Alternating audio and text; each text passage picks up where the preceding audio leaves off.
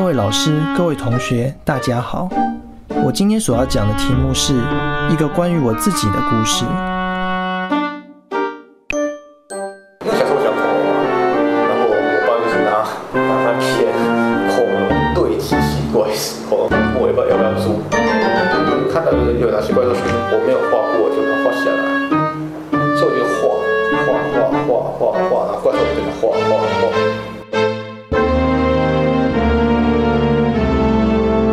是要交代功课的地方，早就变成怪兽的科幻游乐场，甚至入侵了每周要抄写《唐诗三百首》。我只想把这个世界变成怪兽存在的世界。自己想要创作一支比较生动的模式啊模型，然后去尝试说自己亲手用做的，做出自己想要的感觉。那直到后来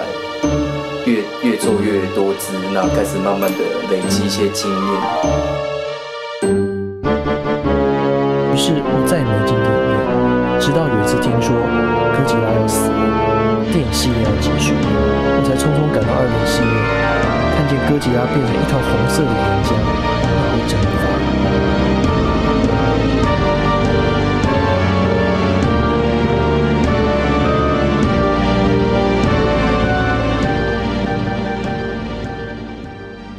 好，欢迎收看《影响世界》，我是黄慧玲。今天的节目要介绍两位优秀的年轻作家，他们最近分别出书了，一个人写怪兽，一个人写鬼，而且都很受好评。今天非常高兴邀请两位作家来跟我们分享这两本书《不测之人》和《路上怪兽警报》。首先，我们介绍《不测之人》的作家陈玉轩，玉轩你好。慧玲好，大家好。然后是《路上怪兽警报》的唐成伟，成伟你好。啊，慧玲好，大家好。我们刚刚看到那个前面那个片花，其实是陈伟拍的，对不对？是，嗯，所以你是写怪兽，对，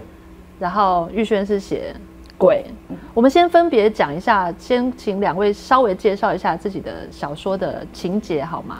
基本上我就是因为很喜欢怪兽，所以我就试着我的故事是短篇小说集，是那所以我就试着说把我喜欢的怪兽的不同种、不同种类的怪兽、不同形式的怪兽，把它放在各种比如说想象的世界，或者是童年回忆，或者是现实世界里，我就把它们各个安插进去，然后想说，如果我们世界里面充斥着怪兽，那是这个会。发生什么样的情节啊？人会有什么样的感受哦？就试着写这样子的故事。哦，所以你的小说是每一个是不同的短片，短片里面有不同的怪兽。是所以刚刚我们看到那个影片里面，小男生是谁？哦，那个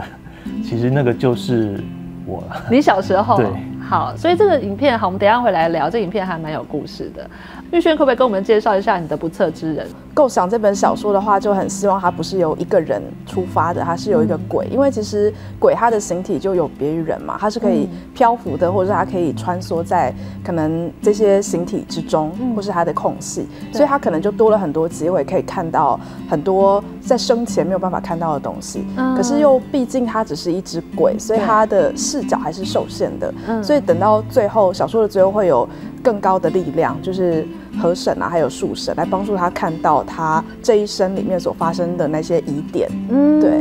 那就是在小说里面，就是呃，顺便也包扎了很多我想关怀的议题，这样。对好，两位写的都是小说，我其实还蛮想要问作家，你们的创作灵感都是从哪里来？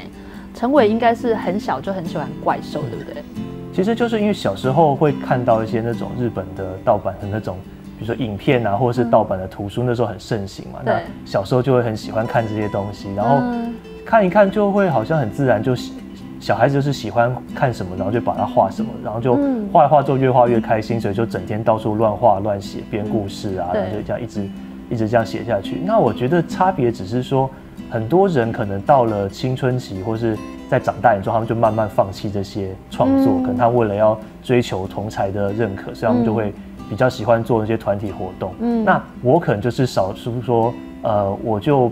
好像没有办法把这个东西割舍掉，所以我就一直想要做这样的创作。对。中间也会有一些时间是比较，可能自己也会想说会跑到别的地方，想去做一些别的比较呃被大家认可的看起来好像比较震惊的事，对可是慢慢久了之后，你喜欢做创作，然后你最终还是要回到自己的源头来，所以就很自然的嗯创作，很自然就是以创怪兽为题，这应该就变成一个不可避免的事情。所以刚刚那个影片其实是你考进南艺大的时候，嗯，老师问你说你以后想要拍什么，嗯，结果你回答老师，对，因为我当时就被有点被逼急了吧，所以我就说，那我要拍怪兽的纪录片。那当时好像只是口老师有笑出来吗？就是？他可能就是大概也许他觉得有点不可思议或怎么样，所以当下反应我有点被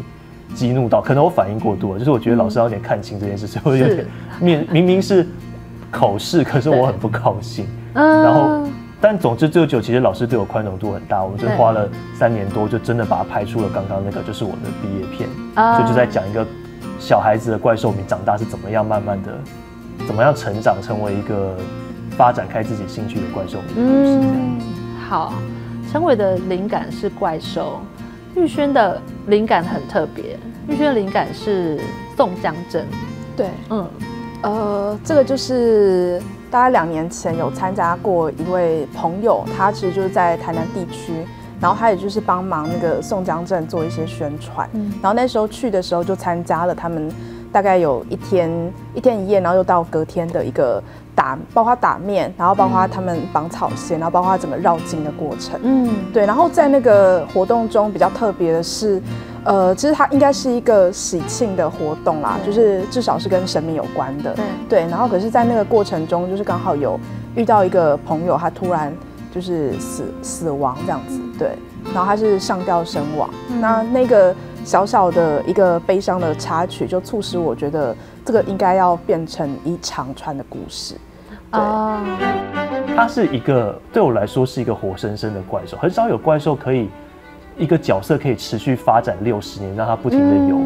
各种的表表演的方式，然后让他整个很不一样的风格。就像现在他还有拍两次拍成好莱坞版，就很像很喜欢成龙，然后成龙突然终于拍出了尖峰时刻那种感觉，他拍了一个好莱坞电影。对对。呃，两位都是台湾年轻的作家，可是其实白天都各有正职，是是吗？我算我算是接案这样，接案做翻译。对对对。嗯，但是其实对于创作来说，他可能是需要专心认真在那个当下。两位可不可以稍微谈一下，如何从你们你们的正职，或者是你们白天从事的事情，然后再再转换变成创作的时候的状态呢？那因为我白天的工作是老师，嗯，对，那其实回家以后还是有很多的备课，但是我会给自己设一个停损点，就可能到几点之后，然后就是我的创作的时间。是，那如果说那段时间没有办法创作的话，那我就是阅读或者出去走路，就是我还蛮喜欢出去走一走，因为其实那个走路的话，尽量寻不同的路线去走，然后从那边发现一些我平常可能会忽略的细节，然后回来的时候如果有办法再去整理。走路过程中产生的一些思绪或者是一些灵感，对，然后我就是其实是未来期待想要更有纪律的写这样子，嗯，对，因为有时候还是会觉得很累，然后想要小偷懒一下这样子，对。听说村上春树写作是非常非常有纪律的，他每天的时刻表是排得很好的，对，早上要写多少，下午要如何休息，然后再写多少，对。嗯，这真的是那个所有创作者的典范吧？对，就是太难达成了。对，所以陈伟怎么做呢？嗯，我其实算是我本来是有正职在报社，那后来因为我很想写一个怪兽的故事，所以我其实后来我真的就为了写那个故事，所以我就离职了。然后真的对，有一阵子我真的就是很。就是想说我要离职，让我要全心全意的来写那个故事。可是写了几个月，其实陈伟是台湾的怪兽专家，还好，其实还可还好，就是稍微有喜欢这样。就是我花了几个月写，可是后来又觉得说好像密集的写其实也不是办法，因为因为这样到最后你还是得找工作。可是后来又开始试着找工作，边找边写之后，又发现真的开始工作，如果是过于忙碌的工作，其实对脑子就完全。卡住了，等于说一个字都写不出来。对，所以后来其实又决定，就是好像发现自自由接案会比较适合。就是我像有接翻译，比如说如果一本书其实时间很长，它可以可以需要几个月这样。那一几个月的话，中间就比较好调配。比如说你觉得翻译的时候，你翻译的时候顺就翻译，然后如果你觉得有感觉灵感或是什么时候去写就。就花一点时间写，因为它整个时限很长，所以就说自己去调配这样的时间，目前来说是觉得还比较妥当的方式，这样就是说你可以一边有收入一边去写作，然后又因为我觉得我比较没有办法，目前没有办法做到很有纪律的，所以我就反而有的时候是靠这个互相调配。比如说我做的真的很很疲倦的时候，我反而好像忽然有办法写东西，然后反过来说，我写有时候哎，我今天我真的就是想写这故事，我就是卡住了，对，那我就回头去做很。这是很有的时候很单调的反应，就这样互相调配起来，会觉得还蛮，目前来说还蛮妥当的这样子。不过你说到你为了要专心写怪兽的书而把报社工作辞掉这件事情，就可以看得出你对怪兽的热爱，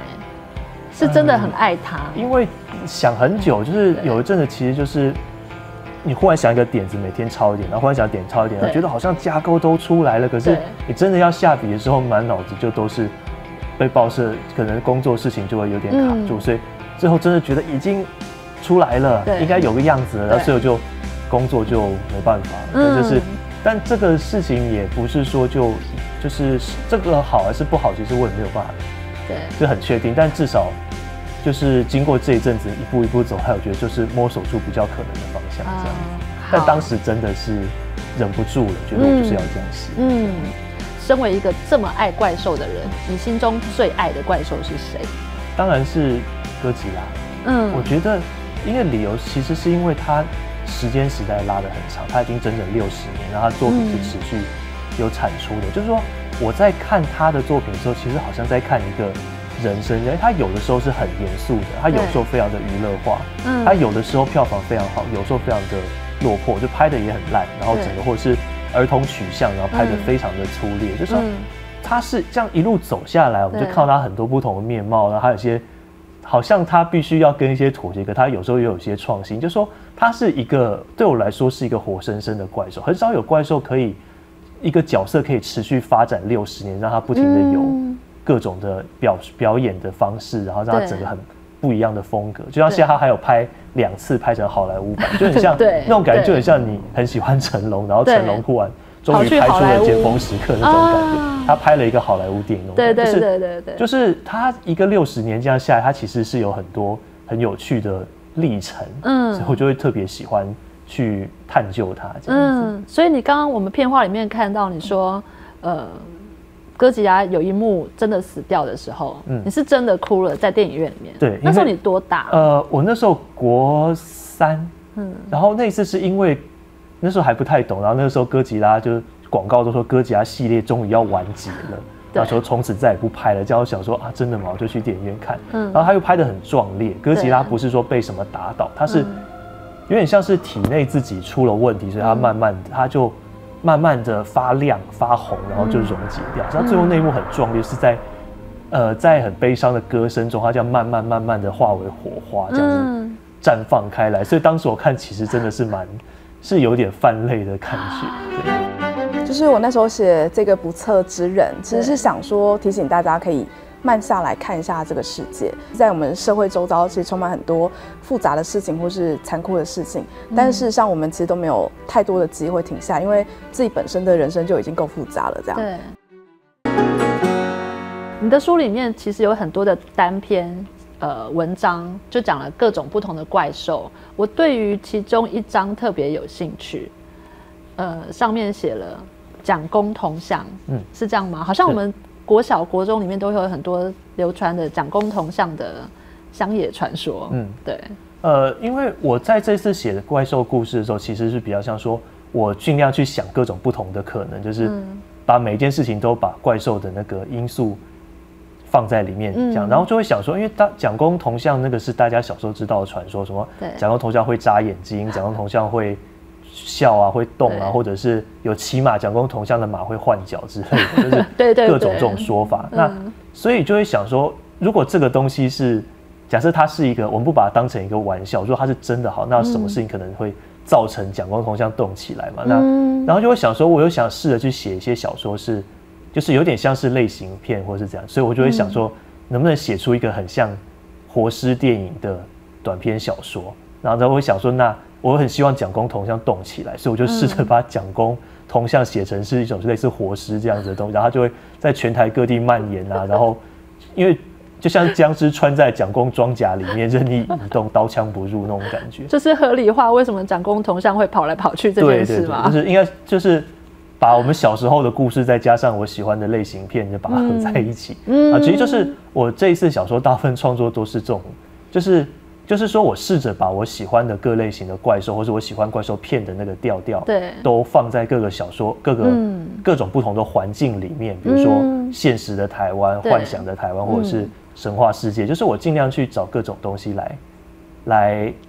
尝试着把怪兽放在世界里面这样子。好，其实你的文章真的让我觉得这是一个想象力非常非常丰富的作者，生活里面可能的、不可能的，甚至写的有一些让我觉得，哎，其实它很有可能发生哦。我想大家读者可以自己去买书来看。对我昨天才在跟呃两位聊，说。你们最近的书不是鬼鬼就是怪怪的。讲完了怪，我们来讲鬼。为什么你的书主角会是鬼呢？为什么要这样选择？嗯，因为我会觉得想要选择一个比较新奇的方向。嗯，其实是作为人的话，大家都看的很多了。那但是我就想说，有没有可能他作为一只鬼，然后他透过很多。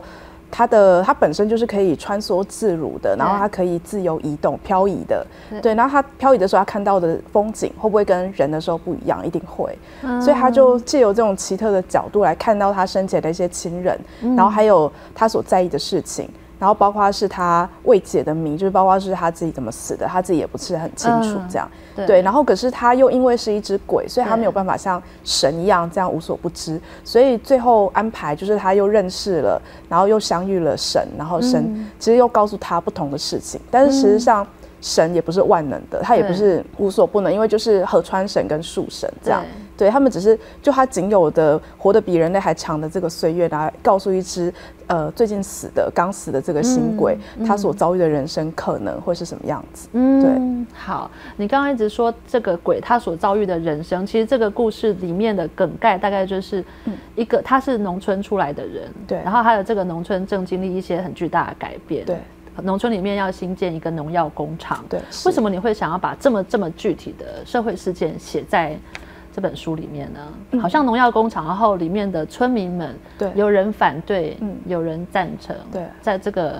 在这里面有很多的利益的纠葛，对，其实这是我觉得跟这几年来出社会以后的一些心得有关，嗯，就是我出社会以后，感觉是跟呃现实生活比较容易有那个脉动，比较容易有冲击，然后，嗯，呃，包含是包含是看到一些。在地的一些状况，比如说不只是呃农药工厂，可能有某某的那个水泥工厂啦，或是有什么砍树的这些举动啊等等，其实，在各个乡镇都发生。可是当大家看到这个即时新闻的时候，大家只是会一时流于一种情绪性的一种理解，就想说。啊，这个一定就是怎样怎样，然后看完以后几秒钟又让下一个新闻就是过渡过去，他并不会想要去深究这个东西，所以想说他可不可以借由一个小说的方式，然后是比较贴近可能在地的人他们心中所想所感，然后重新诠释一个对他们来讲可能是灾难，或者是对有些人来讲是利益的一个事件，因为其实对现代的农村来讲，就是他跟过去那种。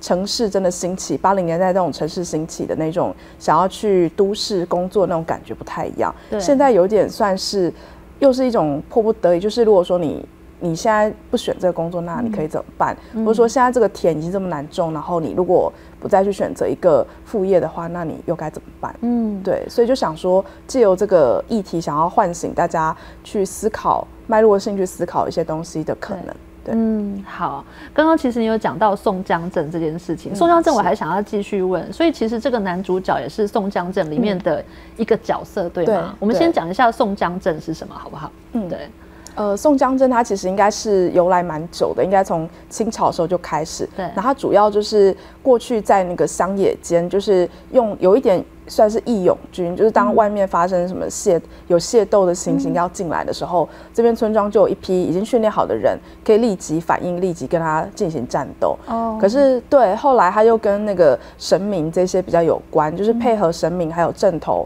绕境这些，他就是比较变成是一种呃。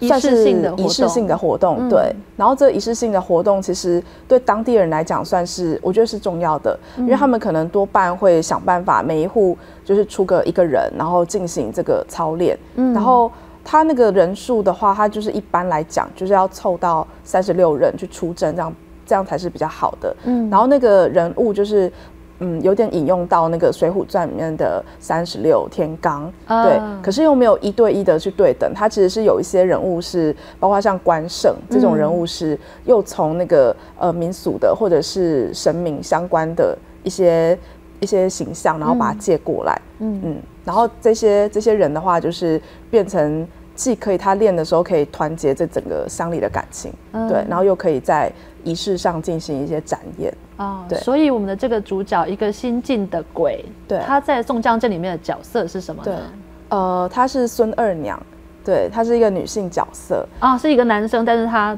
他在宋江镇里面扮演一个女生，对，扮演一个女生，就是反串这样。对你这样子设计的用意是？我是很想要，就是让大家除了看到他是一只鬼之外，他其实在生前也是做一些蛮不同的事情。那个尝试，那那个尝试是，我是设定是那个呃关帝爷，然后给他的，对，给他说你你可以接这个角色，然后他就接了。他接的时候其实也没有很排斥，他就觉得这好像是一种尝试。那如果说在一般看到那些孙二娘啊什么一丈青的扮相，就会发现还蛮妩媚的，就是他们一般会找比较清秀的男生来扮演。对，然后会尽可能的把她就戴假发啦，或者是在她的衣服上就是做，真的是很符合女性的这些装饰，然后让她在正头里面看起来就确实是一个女孩这样，女人这样子。对，